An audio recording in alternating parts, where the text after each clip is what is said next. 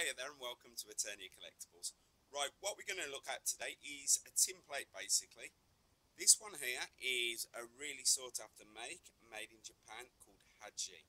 And what this item is, is the battery operated Sky Taxi Pan Am.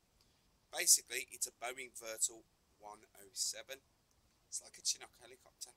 It's a pretty cool retro toy. Dating, I would say, from the early 70s at my guess pretty cool. So this is basically what they are. As you may see on Google, if you look at these, they're pretty rare and quite sought after. I was lucky enough to get two of these in. Unfortunately, I've sold one already. If someone would like this one, which is in my hand, you know, welcome, go on my website, have a look. They're pretty cool. I think we're doing them for $49.99, which is a lot less than any dealer would in a comic book store what they are is they're unused stock we just found lying about. The boxes are a bit bashed up, but as you can see, the models are really, really nice. What I will do is this one is absolutely, it's never been touched. I'm going to put that one there. This is the one we still got for sale. All I will say with you is, because it's plastic and over time, sometimes what happens is where the screws are on these ones, they can go a bit brittle and start showing strains. So whilst this has never been used, you can see by the screw you get some stress lines every now and again and just there. As I say that isn't wear or anything that's what just happens to them. So if anyone does buy any of these or sees any on eBay or any any site like that or an auction room do check the screws it's really really important.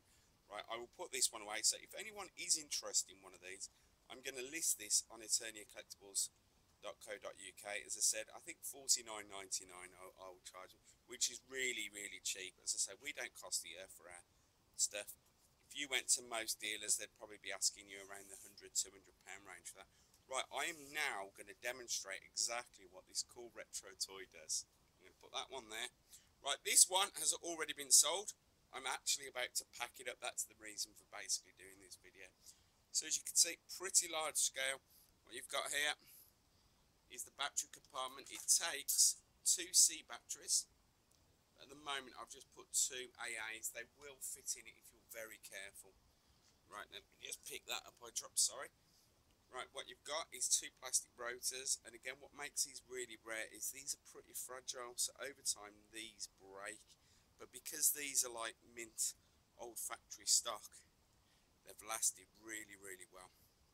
So what you've got is you've got the upper which is tin plate, and the bottom is plastic. Right, if I can get enough room, unfortunately, loads more deliveries come today, so I haven't got much room on my table.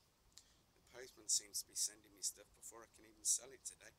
Right, I will demonstrate what this really cool Haji Pan Am helicopter does. My dog hates it when I test it. The customer asked me yesterday, you know, if I could test it before it went, so I did and it was pretty shocking what this thing does. So hopefully on cue we can get it to do. It's got a switch somewhere at the bottom if I'm careful. As I say, the last thing I want to do is break it seeing I have sold this one. You're going to tell me just because I want to get it to work, it's not going to. As I said, let me just take these rotors off. Bear with me. I've already dropped one. All these do is literally slop up I said, I'm testing this with AA batteries and they're not the right size. So what we'll do very carefully, just put this camera down just here. We'll take the battery cover off. There we go, the battery just fallen off. So these aren't the type of batteries really you're supposed to be using C's, but if you're very careful, you can get two AA batteries, put them in, probably hear that already what it's doing. It sounds like an, a captain. So what I've done is just put two batteries in there, but these do slip out because they're not the right ones, so I've got to be very careful with what I'm doing. So what we do, as you can see, it's revving off to make noises, sounds.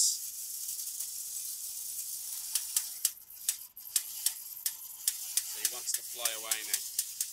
And the rotors will start moving.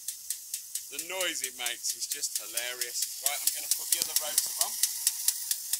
You think this is a toy from it would have been the late 60s, 70s, that period. That is pretty cool, I think. And then it stops. As a rest, as I say, I don't want it falling off my sideboard. It has a little rev up. Starts going, and then it'll start moving, which I don't want it to, because it will... But what a cool toy. Really, really nice. So if anyone does want one of these, they, they are very rare. As I said, you won't find these anymore. I have one left, and I haven't actually tested that one. One thing I will say with these old toys I sell, they're sold as collectibles. They're not sold as toys. So I cannot guarantee any working electrics or if they will last. You know, this has been sitting around in a storage unit in an old abandoned warehouse for possibly 40, 50 years. So I'm not making any guarantees, but as you can see, that looks like it was made yesterday. It's absolutely stunning. Anyway, thanks for looking. Please like, comment, and please visit my store. Many bargains. It's quite surprising how many people knock on my front door and have bootloads of things they've found and they start selling me. Right, don't disappear. Thanks for looking. Bye-bye.